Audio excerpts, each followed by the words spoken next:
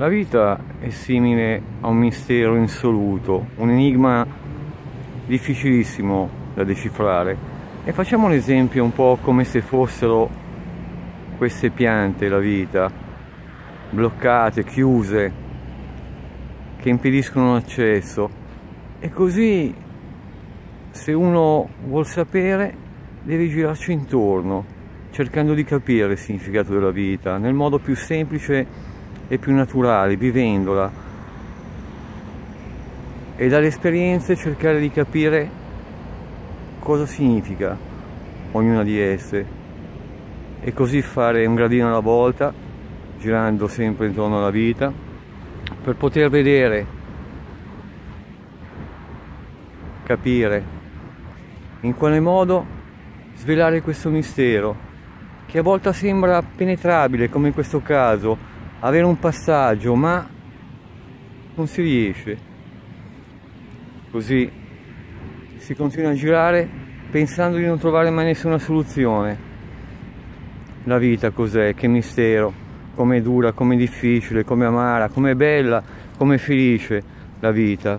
Poi a un certo punto ecco trovi la soluzione. Entri tranquillamente felice e ti accorgi che la vita è così è anche sporca, è anche squalida, però ti guardi intorno e vedi al centro le piante e sei al centro delle piante e guardandole ti accorgi solo di una cosa, nel bene e nel male, il mistero della vita è uno solo, va vissuta per essere capita e soprattutto capire che la vita è una, va amata e rispettata.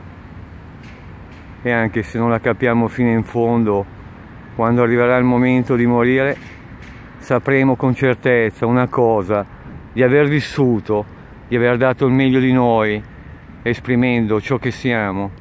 Sì perché noi siamo la vita. Ed è solo grazie ai tanti cespugli secchi delle brutte o amare esperienze che possiamo poi alla fine dire ho capito, dovevo solo vivere. E allora anche quando il cielo è coperto, direi sempre, sei bello.